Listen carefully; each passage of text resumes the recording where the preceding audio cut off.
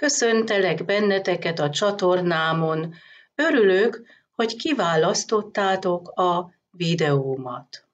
A három kérdőjeles jóslás április 5-én. Az első kérdés az lenne, hogy mik az ő gondolatai, mik az ő tervei, ezt most megtekintjük ennél a jóslásnál. Ezen a képen a tízes szám arra utal, hogy ő tervez egy új kezdetet.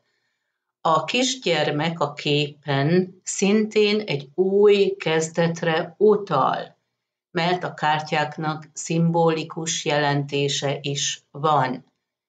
A kejhek érzelmekre utalnak, és ő ki fogja mutatni az érzelmeit. A képen látható egy boldog család, nyilván a családi kapcsolatok vagy egy család tervezése is fontos számára. Azt is jelentheti ez a kép, hogy ez az ő vágya, az álma, egy ilyen boldog párkapcsolat, egy új kezdet, szép, harmonikus családi kapcsolatok. És most bepillantunk az ő érzelmi világába. Ennek a kártyának több jelentése is van. Lehet, hogy van egy nő a háttérben, és nagyon ügyel az anyagiakra, megpróbálja őt megtartani a pénz miatt. A kártya jelentheti azt is, hogy ő érzi így magát, vannak még félelmei, és megpróbál valamit erőszakkal megtartani, megfogni, mert fél attól, hogy elveszíti. Ezek lehetnek az anyagiak, de az is lehet, hogy téged akar így fogni, mert fél attól, hogy elveszít téged. Itt oda kellene figyelni arra, hogy mit közöl ez a kártya. A négyes szám a biztonság érzetét, és ahol ül ez a hölgy, ez egy kincses láda. Tehát az értékek nem a kezében vannak végül is, hanem a ládában. És ott van az ölében a kulcs, tehát ki tudná nyitni ezt a kincses ládát.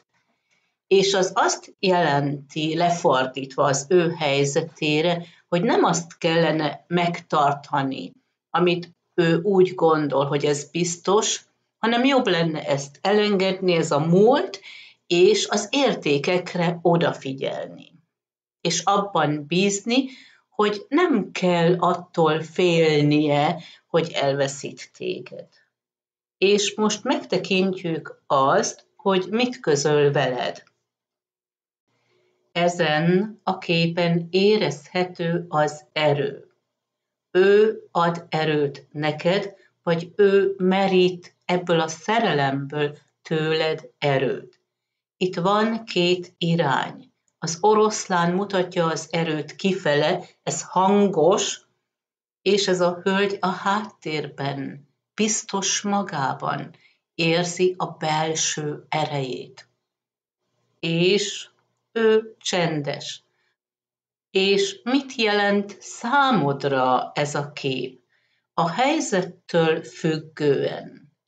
Néha kell, hogy óvd magad, és mondd a véleményedet magabiztosan, hangosan, de vannak olyan körülmények is, amikor jobb, ha nem szólsz semmit, és bízol abban, hogy minden jóra fordul, és nem hagyod azt, hogy mások zavarjanak téged. És most megtekintjük a napi kártyát. Ez a kártya mutatja a természetet. Az lehet egy kiruccanás, amit ez a kártya még jelent, ez a nyilvánosság. Ti megjelentek a nyilvánosságon, az is lehet, hogy lesz egy meghívás.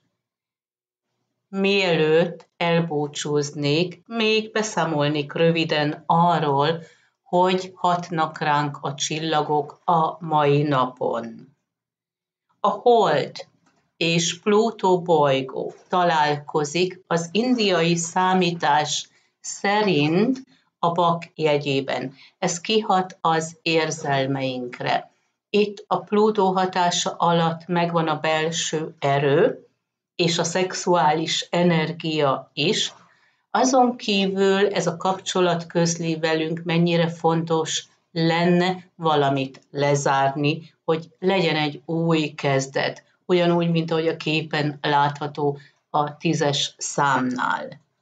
A mai napon Vénusz bolygó és Jupiter bolygó egy jó kapcsolatban van az indiai számítás szerint Vénusz bolygó a halak jegyében, ahol Vénusz bolygó nagyon jól érzi magát, hiszen ez számára nagyon erős, és ez erősít bennünket, hölgyeket, ugyanúgy, mint ahogy a kártya mutatja itt az erőt.